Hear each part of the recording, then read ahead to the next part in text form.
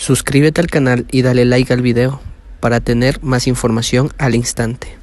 Mucha atención amigos, esto es una información de última hora. Deja este mundo Elda Peralta famosa actriz del cine mexicano a los 91 años de edad. La comunidad artística de México se encuentra de luto tras el deceso de Elda Peralta Ayala, una talentosa actriz del cine, guionista, escritora y editora quien dejó una huella imborrable en la industria del entretenimiento. La Asociación Nacional de Actores fue quien dio a conocer la noticia a través de sus redes sociales, donde lamentaron profundamente el deceso de la actriz quien dejó este mundo a la edad de 91 años. Elda Peralta Ayala, una figura destacada en la industria cinematográfica de México, nació en la ciudad de Hermosillo, aunque provenía de una familia de un linaje importante. Su vida estuvo marcada por la pérdida de propiedades durante la Revolución Mexicana, particularmente por la confiscación de hacienda de sus abuelos maternos en Guanajuato en 1934.